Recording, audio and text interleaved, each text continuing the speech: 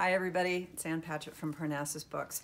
And today I am going to be filling or trying to fill Kat's little tiny shoes. I'm doing the adult laydowns. I have a lot of things to talk to you about. First, I want to say this Joan Didion book came out last week. I read it this weekend. You know what clarifying shampoo is when you have a lot of buildup in your hair from, you know, product, and then you use the clarifying shampoo and it makes it fresh again? That's what reading old Joan Didion essays are like suddenly your brain just feels clear. It was wonderful. I really loved it. A few paperbacks I've got to talk about today. Ariel Lawhon's codename Helene. We're having an event with her tonight. That's going to be really excited. So go on the website and check out the details. Actress by Anne Enright, just out in paperback today. A really one of my favorite books from last year. Also, it's an amazing audiobook check out Libro FM. Anne Enright reads it herself. Deacon King Kong, Jim McBride, one of the New York Times best 10 books of the year. And in this case, they were right. This is going to be a huge book for book clubs. Loved every minute of it. Read this. Okay, now this is what I stayed up half the night reading last night, and it's what I'm going to be reading all day today. Mike Nichols biography by Mark Harris. I picked it up not because of Mike Nichols, but because of Mark Harris, because his book, Pictures of the Revolution, is one of my all time favorites. I'm enjoying this like crazy. City of a Thousand Gates is a first novel by Rebecca Sacks, and it is a present day account of the Palestinian Israeli conflict and it was recommended to me by my friend Jane Byrne, who is one of the smartest, best readers that I know. So I haven't read this yet, but I have it on excellent authority that it is a terrific debut. David Duchovny and Ethan Hawke both have books out today.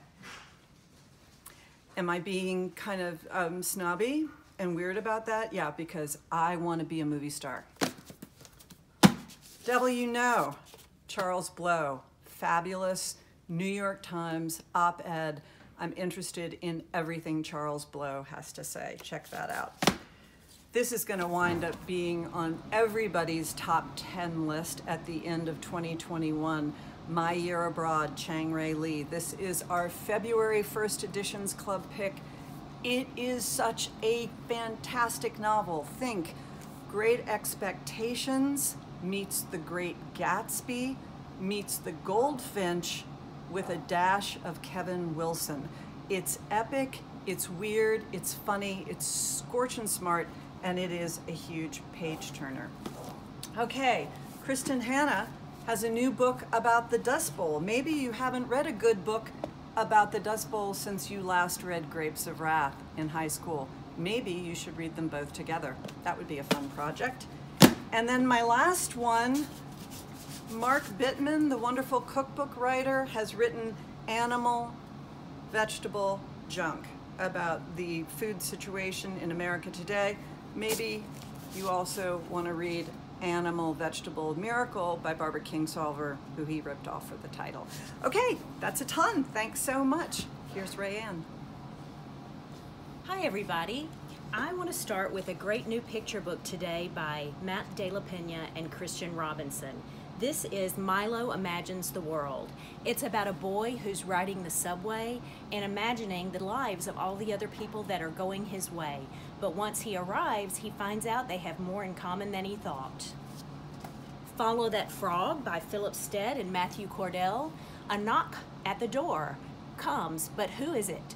And an aunt tells her niece a tall tale about her travels around the world while they wait to answer the door. You'd be surprised who's there on the other side. In graphic novels today, we have Brightly Woven by Alexandra Bracken, Leigh Dragoon and Kit Seaton. This is a book about a girl who is joined by a wizard. They must make it to the capital in time to save her land. It's full of dark wizards and magic.